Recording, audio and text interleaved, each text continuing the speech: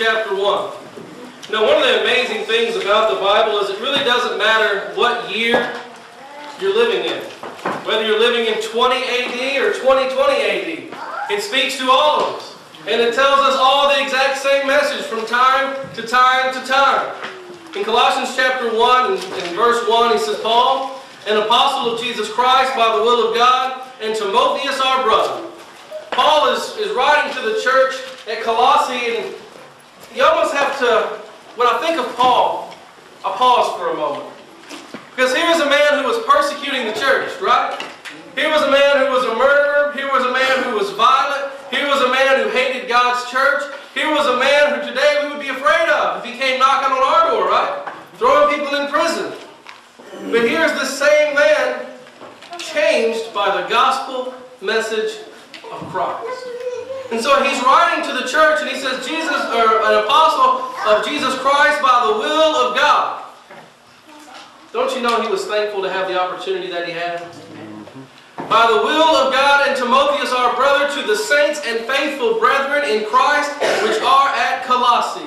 Grace be unto you and peace from God our Father and the Lord Jesus Christ. He started his messages off, of the letters off the same way almost every time. Grace and peace be unto you. Grace and peace be unto you. We live in a world that's not very peaceful, don't we? We live in a world that's, that's tumultuous all the time. He's telling the church, I hope that there's peace for you.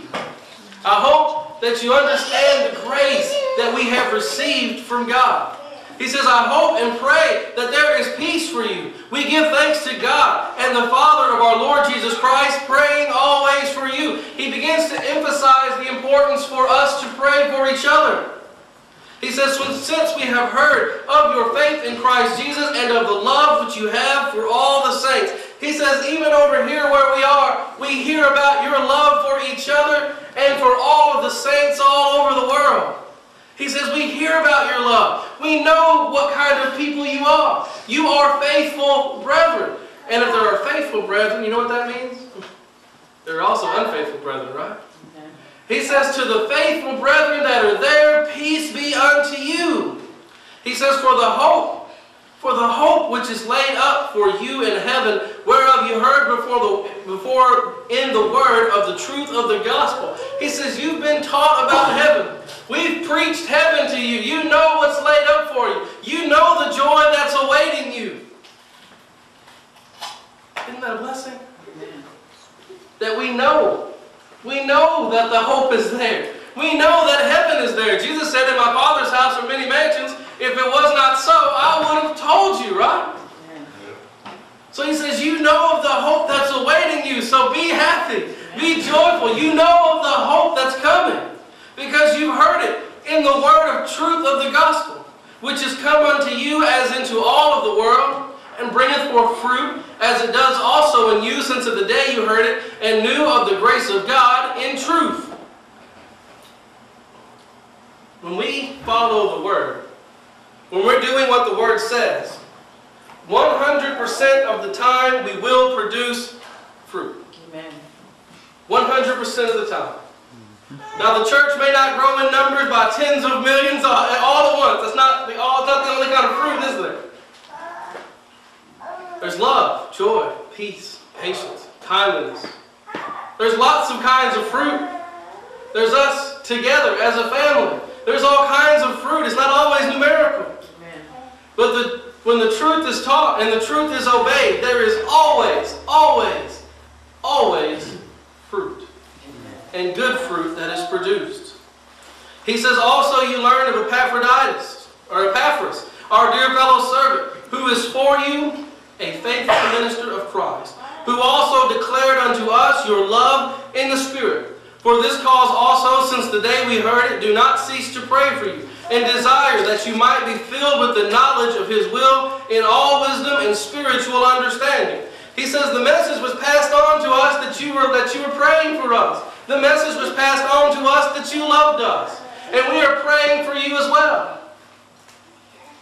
That you might walk worthy of the Lord, unto all pleasing, being fruitful in every good word, and increasing in the knowledge of God. In order for us to have fruit, in order for us to be producing good fruit, in order for us to be growing, in order for us to be moving, we have to constantly and continually be growing in the knowledge of God. He said that's how you produce good fruit. That's how wisdom comes. That's how growth comes. That's how everything about the church comes. It comes from learning and growing in the knowledge of God. That's how it works. He says, strengthened with all might, according to his glorious power, unto all patience and long suffering with joyfulness. He says we're going to need to be a patient people because the people that we're talking to has been in idolatry and has been in the world so long. We're going to need to be a patient people. Amen. Because we're going to talk to them and they may turn away. And you talk to them again and they may turn away again. And you may talk to them for 10 years. And it may be the 20th year before they respond. So he says we need to be a patient and long-suffering people giving thanks unto the Father, which has made us meet to be partakers of the inheritance of the saints in light. Giving thanks to the Father.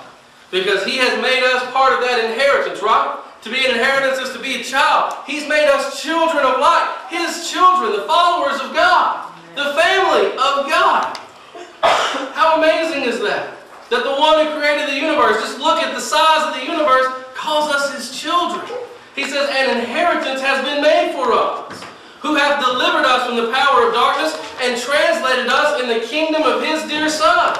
He delivered us from sin. He delivered us from the power of darkness. He took us out of sin and put us in the kingdom of his dear Son. Well, how did he do that?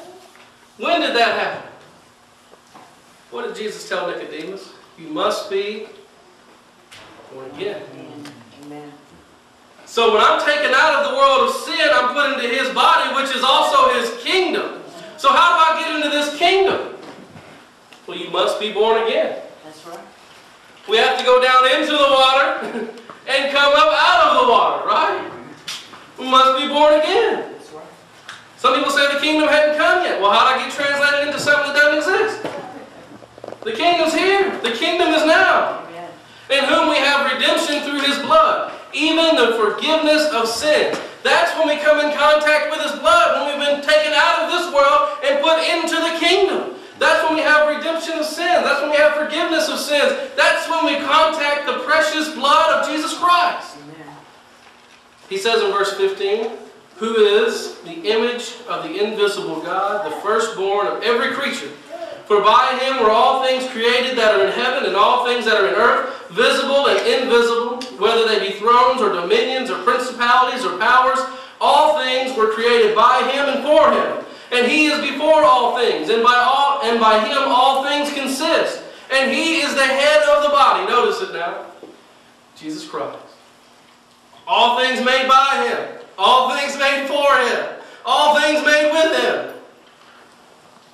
He is the head of the body, the church. Amazing. He is the head of the body, the church, who is the beginning, the firstborn from the dead, that in all things he might have the preeminence. The firstborn from the dead. He is the only one, notice it now, he is the only one to go into the tomb stand up and walk back out and never die again. The firstborn from the dead. What does that mean? He lives to die no more. He never died again.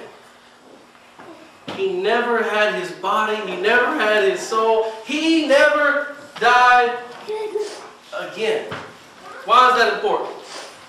Because if Jesus died again, where are we? Why are we here? He walked out of that tomb alive. And then he went to heaven alive. That's so important for us. That's everything about the gospel. That he still lived. We can go to the tomb of every person that's ever lived and we can find where they are. We can see where they lay. There's no body in Jesus' tomb.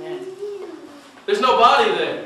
Well, why? Because he was dead and now he lives again. The firstborn from the dead. For it pleased the Father, verse 19, that in him should all fullness dwell, and having made peace through the blood of his cross by him to reconcile all things unto himself. By him I say, whether they are things in the earth or things in heaven. He said the, the purpose for Christ coming to the earth was to bring peace between mankind and God. Was for him to reconcile mankind and God. So everything that he went through on the earth was for us. Everything that he dealt with on the earth was for us. He made peace through the blood of his cross and reconciled all things unto himself. He made peace through the cross. Hmm. So when we think about the life of Christ, and we think about all the things that he went through, all the things that he, that he dealt with in this life, he was doing every single one of them for me and for you. When he was betrayed, he did it for us. When he was attacked, went through it for us. When he was mocked, went through it for us. When he was sold to the Romans for 30 pieces of silver, went through it for us. Because at any point, he could have stopped all of it, couldn't he? At any point, he could have stopped everything in that chain of events. When the soldiers come to take him, he could have stopped But he didn't for us. Interesting thing here. When Peter cut off Malchus's ear, Peter was ready to go to war. One of the things about I always pictured in my mind, I don't know if you ever pictured it in your mind. When I pictured Peter swinging the sword, I always kind of pictured him going like that. When you start thinking about how he cut off his ear, Peter was swinging like this. Peter was trying to take off his head. Peter was trying to kill the guard. And Jesus told him to do what? He said, you put that sword down, right? Because what's about to happen has to happen. It has to happen. Because if it doesn't happen, you don't go to heaven. If it doesn't happen, no one on this earth goes to heaven. He says, I'm going through all the things that I'm about to go through because I want you in heaven. They're going to mock me and slap me and they're going to crucify me. They're going to put a crown of thorns on my head. They're going to beat me. They're going to just do all the things they can imagine to do to me. But that's okay. Because what is life? It's but a vapor that appears for a little time and then vanishes away. He says, I'm only here on this earth in this physical body for a little while. I know where I'm going. And I know where I want you to go. And the only way you can get there, Jesus said, I am the way, the truth, and the life. No man cometh unto the Father but by me. He says you need to know that. That what's about to happen has to happen if you want to go to heaven, Peter. This has to take place. The lamb must be sacrificed. Everything that he did was for us to be reconciled to God. He says in verse 21, And you that were sometimes alienated and enemies in your minds by wicked works, yet now hath he reconciled. He says at one point we were enemies of God. Enemies of God. But he says now we've been reconciled. Well, how did I become an enemy of God? When I followed sin. When I became a servant of Satan, I became an enemy of God. So here he's speaking to Gentiles. He says, Gentiles, listen, at one point you were way out there. because the Gentiles were as much idolatry as you can imagine being in. He says, you were an enemy of God. But now, You can say, I am a friend of God. Not only am I a friend of God, I'm a child of God. He changed all of that. He was able to take me from being an enemy to being his very own child. But now he's reconciled us. In the body of his flesh through death to present you holy and unblameable and unreprovable in his sight. He says you have been completely washed from your sins. Gone. Gone. Unreprovable. No one can make a claim that you still have that sin on you. It's gone. No one can stand up and say, wait a minute, I don't think so. Gone. We've been studying Job on Wednesday nights. Remember what Satan kept saying to God? Making all kinds of accusations. Saying, oh, the only reason he follows you is because of this. The only reason he does this is because of that. The only reason this is that. There's no more accusations to be made. There's no more claims to be had. We are unblameable and unreprovable in His sight. Because when He looks at us, He doesn't see me. he doesn't see you. He sees the blood of Jesus Christ. The Lamb slain from the foundation of the world. Washed, covered, children. He says, and if that's very important. if, we talk about all those things to say this, if you continue in the faith, grounded and settled, and be not moved away from the hope of the gospel which you have heard, which was preached to every creature which is under heaven, whereof I, Paul, am made a minister. He says, if you continue grounded and settled in the faith, if you continue in all of these things, you will be completely unblameable. You will stand before God washed. You will stand before God redeemed. But what happens if I move away?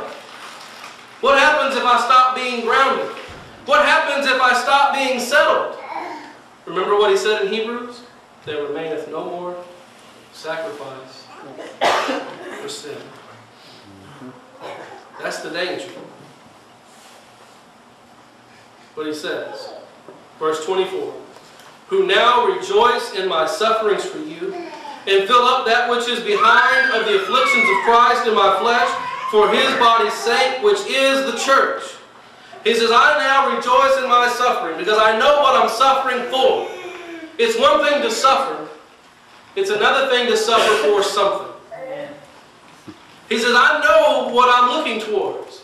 I know there's a reason that I'm going through what I'm going through.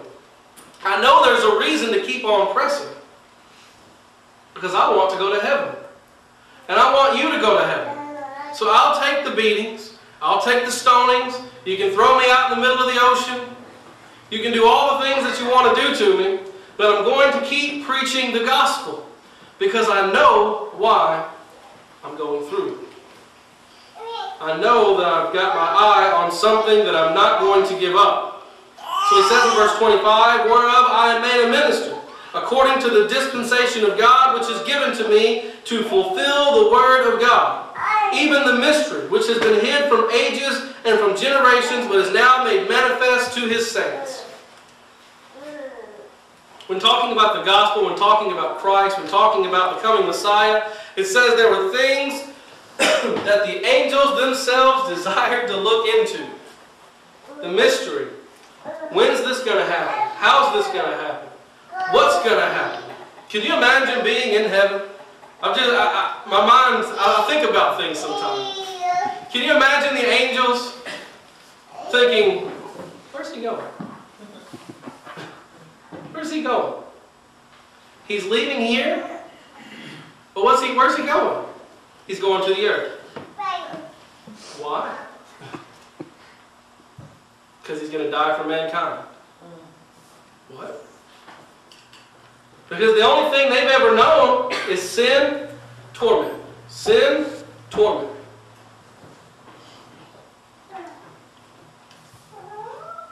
Mankind sinned. And God said, I've got a plan. I've got a plan. I'm going to bring them back into a right relationship with me. The angels, it says, desired to look into. They wanted to know how this worked. They were curious. He says in verse 26, even the mystery which has been hid from ages and from generations, but is now manifested in his saints. I get, I get frustrated when people talk about saints as though they're some special class of people. Well, these are saints, and y'all are just. Because they're denying everything that God has said about His children. He says we're all saints. We're all followers of God. He says if we follow God, we're a saint. and I don't need a robe, and I don't need a stick, and I don't need for people to, to declare me that. God has declared me that. God has declared you that. He says, the saints which are at Ephesus, the saints which are at Colossae, the saints which are at Jerusalem, the saints all over the world. We don't need to vote. When we become children of God, God makes us His saints. God makes us His children. God makes us His family. So smile. Be happy. Because there is hope. There is the hope of heaven. So he says, Grace and peace be unto you that no matter what you go through in life, know that you're going towards something. Know that you're going towards heaven, to whom God would make known what is the riches of his glory of this mystery among the Gentiles, which is Christ in you, the hope of glory. He says, This mystery is made known among the Gentiles. Remember why Peter didn't really want to go see Cornelius? I can't be in the house of a Gentile. They're unclean. Unclean. He says, here's the mystery. Doesn't matter who you are. Doesn't matter where you're from. Doesn't matter what you look like. Every person can be a child of God. That is the mystery among the Gentiles. It doesn't matter if you're Jew or Gentile. That sound familiar? Whether you're Greek or barbarian. Does that sound familiar? It says all can be children of God. All can be saints in Christ. He says in verse 28, whom we preach, warning every man and teaching every man in all wisdom, that we may present every man perfect in Christ. He says, here's how you find, here's how you make someone perfect in Christ. We have to teach them. That's the only way. I can't wish them perfect. I can't hope them perfect. Have to teach them. I have to teach them the truth. Because there's so much error in this world. And if we don't teach them, someone else will. But they won't teach them the truth. He says, This is how you find someone perfect, complete. And that's to be taught what is right and what is wrong. We have to teach our children that, don't we? what's right and what's wrong. Children start learning very early. I'm figuring that out. They'll look at you after you tell them no and slowly keep reaching. But they have to learn what's right and what's wrong. They'll get mad and start swinging their hand. But the world does that. If you noticed, here's what the Bible says. They start moving towards sin a little bit more. Well, let me tell you what the Bible says. Get out of here. I to talk about it.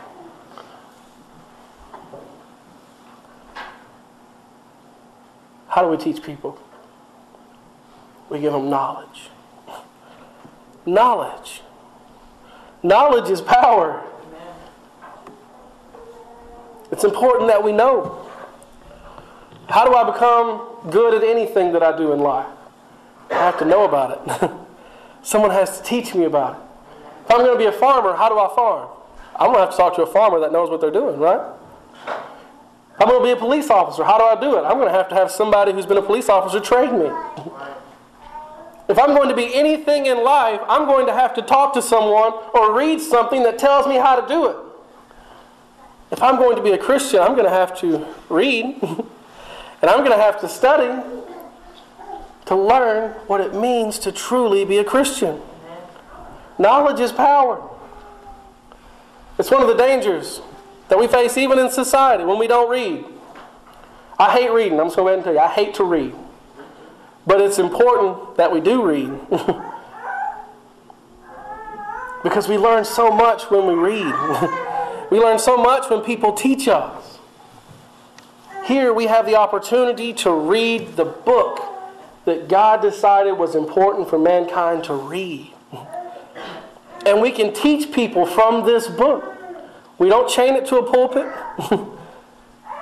if you want a copy, we can get you a copy. the Bible is such the most important book we'll ever read. Because the Bible is the only book that can tell me about God. The Bible is the only book that can tell me about His nature. The Bible is the only book that can tell me what He wants from me. The Bible is the only book that is inspired from God. So He says, Whom we preach, warning every man. There is a warning. Because Jesus said, when He comes back again, it will not be in peace. When he comes back again, it will be in flaming fire, taking vengeance on them that know not God. So he says, We preach warning because we don't know when that day is. that day could be today, it could be tomorrow, it could be 2,000 years from now. But he says, We preach warning because hell is real. A lot of people don't like to use the word, they're afraid of the word, but the word is real. It exists. And if we don't warn people, people are going to usher themselves in by the droves. So he talks about warning people, teaching every man in all wisdom, that we may present every man perfect in Christ. He says, Whereunto I also labor, striving accordingly to his working, which worketh in me mightily. Paul didn't want the praise. Paul wanted people to be saved. Peter didn't want the praise. Peter wanted people to be saved. When Peter was encountered by people that they wanted to bow down to Peter, remember what Peter told him? Peter said, Get up. I'm just a man. I'm just a man. Paul says, I'm just a man. Don't worship me. I'm just a man. Where do they want the glory to go? God. All glory goes to God. Someone may teach me, and that's good. But they're only teaching what God revealed to me. They're only teaching what God has revealed to us. All glory goes to God. All praise goes to God. Because it was Christ who died upon the cross. It was Christ who said, I will build my church, and he built it. It was Christ who washed us in his blood. It was Christ who said, I'll take it. I'll take the punishment for you. And it was God that so loved the world that he gave his only begotten Son, that whoso believeth in him should not perish, but have everlasting life. It was God who led the children of Israel out of Egypt. it was God that led the children of Israel into the land of Canaan. It was God who's always there. So that he can say, Listen, I will never leave you nor forsake you. Perhaps there's someone here this morning that needs to become a New Testament Christian. If you believe that Jesus Christ is the Son of God, Mark 16, verse 16, you're willing to repent of your sins, Acts 2.38, confess that he is the Son of God, Romans 10, 9 and 10, and be baptized into Christ this morning, 1 Peter 3.21, then you can be a new creature. washed in the blood of the Lamb, forgiven, as Christ said, born again. Or perhaps you've let sin get in your way after becoming a New Testament Christian. You've let sin hold you back. You've let sin pull you back. He said it's important for us to remember this. As Christians, we must remain grounded. We must remain settled in the truth. If you have any need, come now while we stand and while we sing. Will you come, will you come with your poor broken heart, burdened and sin?